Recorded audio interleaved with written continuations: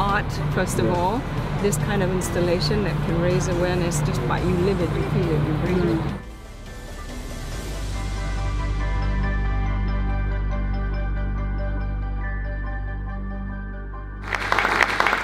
Thank you.